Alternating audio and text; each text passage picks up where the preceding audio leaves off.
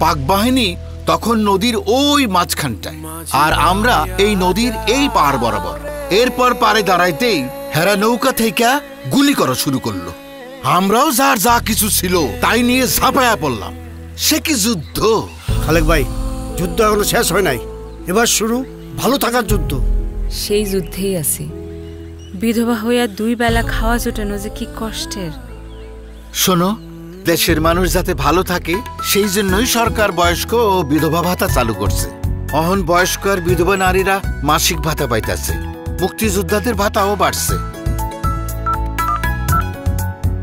চিকিৎসার জন্য ডিজিটাল সুবিধাও আছে। আর থাকার জন্য আছে পুনর্বাসন কেন্দ্র। মাঠের যুদ্ধে জিতছি, জীবন যুদ্ধেও জিতবো।